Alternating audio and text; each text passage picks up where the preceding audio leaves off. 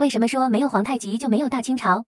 因为皇太极接手女真人政权的时候，他其实是接手了一个烂摊子。那这个摊子究竟有多烂呢？首先是在社会基层上，辽东的女真人和汉人之间，它矛盾是非常严重的。辽东汉人有一部分是本地的农户，还有一部分是被女真人给掳走的。这些人在当地被压迫的非常严重。有一部史书叫做《满文老档》，这个是清朝初期的官修的满文编年体史书，详细的记载了从一六零七年到一六三六年期间东北女真政权的历史。这里面就提到过，努尔哈赤时期，女真人至少在辽东进行了两次大屠杀。一次是在天命九年的正月，是清查当地汉人的财产，看看他们手里面到底有多少粮食。有粮食的，那说明他们暂时还能够维持生计，不会拖累女真人；而没有粮食的，那就是累赘了，全部干掉。后一次是在天命十年，由于当地的汉人经常起义，这努尔哈赤就杀红眼了。这几次的暴力事件让当时后金的经济出现了非常严重的问题。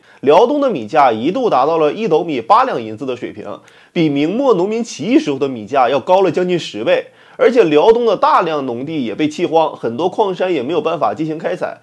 这个还只是社会生产方面的，那女真人内部这个时候问题也非常多，大量的八旗军官们就开始抢夺其人手里的田地和物产，经常出现女真士兵围殴长官的现象。而爱新觉罗家的这些宗室们，那全部出现了酗酒的毛病。打仗的时候呢，还开始把家丁拿出来去冒充士兵，在战场上去抢战利品。仗打完之后，那就隐匿财物。努尔哈赤本人也开始发癫了。早期年轻的时候还知道要种地搞生产，年纪大了，靠着打几场仗抢来的战利品成了暴发户之后，完全就不顾农业发展的事儿，没事儿就爱盖房子，盖完了就拆。所以，当皇太极继位的时候，他手里的后金和中国历史上的那些北方胡人建立的短命政权非常像，没有稳定的官僚体系，也没有良好的经济基础。南面是明朝，西面是朝鲜，东面是蒙古，这三面和女真人的关系他都不好，典型的是周围全是敌人。而且四大贝勒每个人的手里面都有自己的武装和资产，皇太极就像一个小股东一样。